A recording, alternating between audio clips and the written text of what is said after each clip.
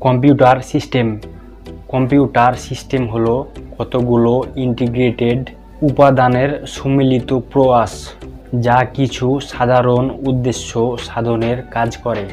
Computer সিস্টেমের উপাদানগুলো হচ্ছে, নাম্বার এক, হার্ডওয়্যার, নাম্বার দুই, সফটওয়্যার, নাম্বার তিন হিউম্যান ওয়্যার বা ব্যবহারকারী, নাম্বার চার, ডেটা বা ইনফরমেশন।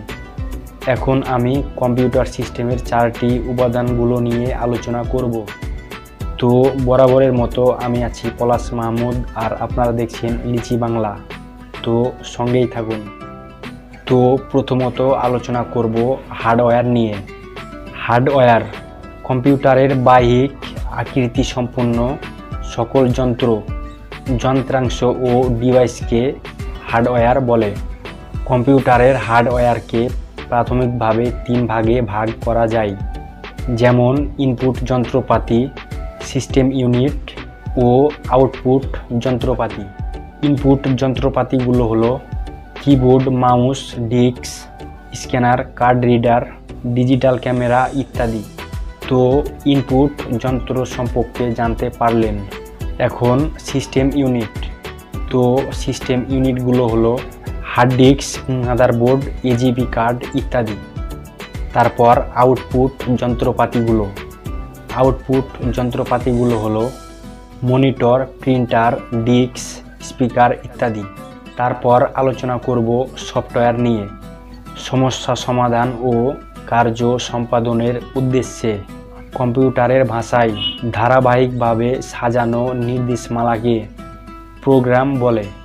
প্রোগ্রাম বা প্রোগ্রাম সমষ্টি যা কম্পিউটারের হার্ডওয়্যার ও ব্যবহারকারীর মধ্যে সম্পর্ক সৃষ্টির মাধ্যমে হার্ডওয়্যারকে কার্যক্ষম করে, তাকেই সফটওয়্যার বলে।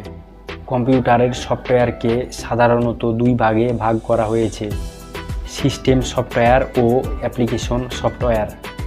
সিস্টেম সফটওয়্যার কম্পিউটারের বিভিন্ন ইউনিটের মধ্যে কাজের সমন্বয় রক্ষা করে ব্যবহারিক প্রোগ্রাম নির্বাহের জন্য কম্পিউটারের সামর্থ্যকে সার্থকভাবে নিয়োজিত করে।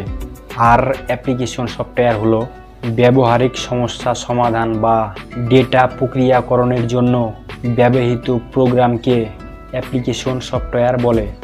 ব্যবহারিক সমস্যা সমাধানের জন্য অনেক রকম তৈরি প্রোগ্রাম বাণিজ্যিক পণ্য হিসাবে পাওয়া যায়।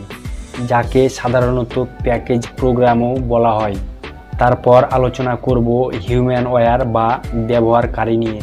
ডেটা সংগ্রহ, প্রোগ্রাম বা ডেটা সংরক্ষণ ও পরীক্ষাকরণ, কম্পিউটার চালানো তথা প্রোগ্রাম লিখা, সিস্টেমগুলো ডিজাইন ও রেকর্ড লিপিবদ্ধকরণ এবং সংরক্ষণ, সফটওয়্যার ও হার্ডওয়্যারের মধ্যে সমন্বয়, সাধন ইত্যাদি কাজগুলোর সাথে যুক্ত সকল মানুষকে একত্রে হিউম্যান ওয়্যার বলা হয়।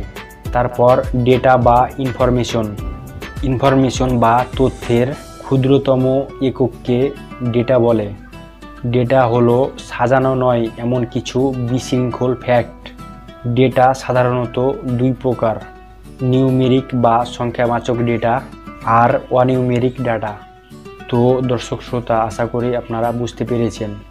ভিডিওটি ভালো লাগলে অবশ্যই চ্যানেলটিকে সাবস্ক্রাইব করতে ভুলবেন না। এবং কথা কিন্তু একটাই, ভালো থাকবেন, ভালো রাখবেন। ধন্যবাদ সবাইকে।